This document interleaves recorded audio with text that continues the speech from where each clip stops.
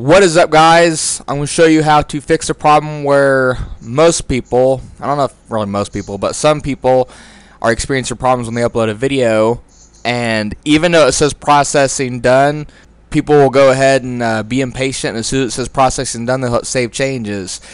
And what happens is, as soon as they hit save changes, they go to their video and they click on the gear icon and it doesn't update. It just stays at 360p or 480p and never ever changes. You can wait two days, three days, the whole week, and it still stays stays at that quality, no matter what. Now, literally, even this is literally for HD videos. Now, I find that I think it's a glitch with uh, YouTube site the only way I found to fix this problem is to basically, as soon as a, the, your video is processed and it says processing done, do not, I repeat, do not hit save changes. Do not be impatient. Give it an extra 5 or 10 minutes or so. Even though it says processing done, give it about 5 or 10 uh, extra minutes and leave this page open. Check on the quality. Instead of hitting save changes, click on this where it says your video will be live at this link. Click on this and you know, check the uh, gear icon again.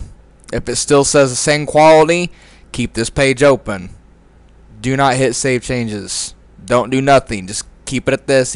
Literally, I know, I know, I keep repeating myself, but I, I can't stress enough. If it says processing done, it's actually still not done. YouTube hasn't updated it yet. In other words, it hasn't refreshed it. So let's go, you know, check again from 360p, and hopefully the other the other ones are on there.